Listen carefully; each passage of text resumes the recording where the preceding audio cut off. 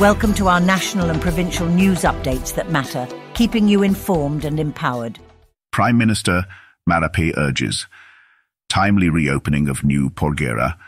Mine Prime Minister Honourable James Marape is intensifying the call for swift action in reopening the new Porgera mine. This plea follows a significant legal development, with the Supreme Court overturning a recent court order that aimed to halt the new Porgera Development Forum in Wabag. The forum's aim is to facilitate the swiftest possible reopening of the mine and is anticipated to span a minimum of two weeks to address stakeholder concerns. Prime Minister Marape welcomed the ruling, stating, The new Porgera Development Forum is a crucial step towards reopening the mine.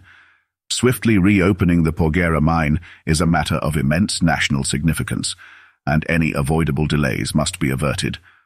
The Prime Minister underlined his commitment to addressing both his Tari Pori seat and national leadership responsibilities in order to resolve all pending matters in Porgera. As a result, he called upon all stakeholders to engage in the Development Forum proceedings. I assure all landowners that the new Porgera Development Forum will serve as a platform to effectively address all concerns, Prime Minister Marape assured. Subscribe for more updates.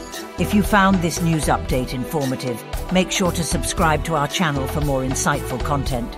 Stay up to date with the latest news and analysis. Join the discussion.